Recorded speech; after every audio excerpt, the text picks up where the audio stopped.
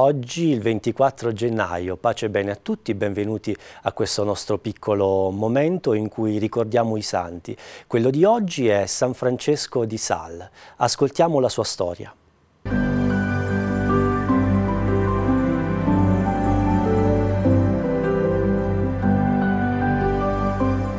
Francesco nasce nel 1567 a Toran, in Savoia, da Francesco, conte di Sales, e da Francesca di Sionin. Completa i suoi studi di retorica, filosofia e teologia presso i padri gesuiti. Già sensibile alla vocazione sacerdotale, viene mandato dal padre a Padova per addottorarsi in legge. A 18 anni vive una forte crisi dell'anima che trova consolazione solo nell'amore di Dio. Attraverso lo studio di San Tommaso d'Aquino e di Sant'Agostino, Francesco ha la conferma della sua vocazione sacerdotale. Riceve gli ordini minori, il diaconato tre mesi più tardi e il sacerdozio dopo altri tre mesi. Di lui San Gregorio Nazianzeno avrebbe detto Egli era prete prima di essere prete. Da canonico Francesco predica per le strade e nelle piazze con parole semplici e comprensibili da tutti perché era desideroso di far conoscere e amare Gesù e recuperare quante più possibili anime a Cristo, salvaguardando la cristianità in un periodo in cui perseverava la riforma di Calvino. Trascorre molto tempo nel confessionale, dona soccorso ai poveri e visita gli ammalati, indignando in questo modo il padre che lo voleva predicatore con citazioni latine e greche si fa missionario percorrendo le strade del Chiablese, non curandosi delle intemperie, delle notti senza rifugio o degli avversari che poteva incontrare durante il suo percorso.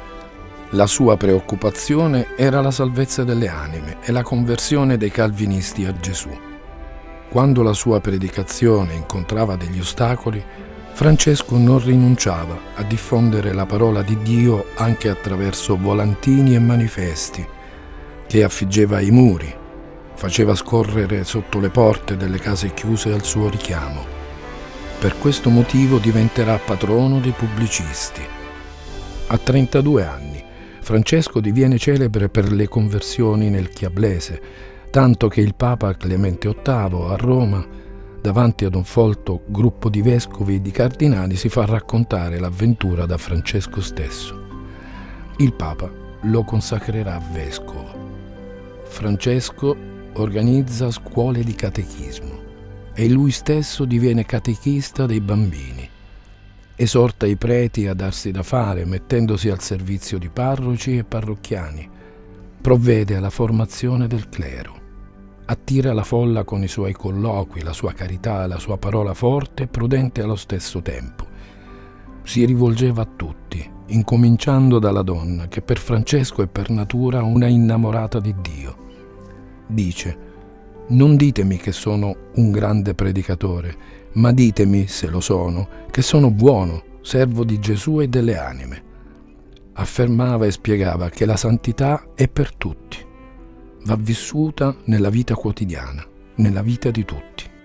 Francesco amava l'uomo perché amava follemente Dio e aveva fiducia nell'uomo redento da Cristo. Francesco di Sal nel 1610 fonda con Santa Giovanna de Chantal l'Ordine della Visitazione di Santa Maria, un ordine religioso femminile che diffonderà tra le giovani. Alla base di tutto Francesco pone la confessione e la comunione settimanale e i sacramenti che santificano tutti.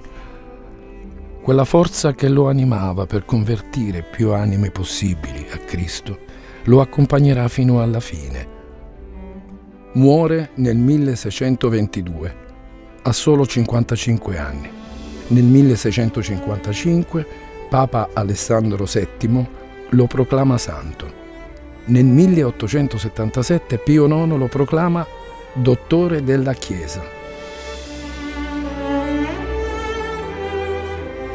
San Francesco di Sal, uomo dalle grandi virtù, è diventato e considerato da parte della Chiesa come il patrono dei giornalisti e dei pubblicisti, proprio per questa idea che lui ebbe di iniziare ad usare il volantinaggio o dei manifesti per diffondere il messaggio di speranza e il messaggio di vita di Gesù Cristo proprio nel contesto di oggi in cui ognuno ha la possibilità di poter fare del volantinaggio, pensiamo alla potenza di internet, alla potenza dei social, ognuno può fare il suo post, che è il nome nuovo del volantino, del manifesto, in cui può esprimere un contenuto di, di bellezza e di positività.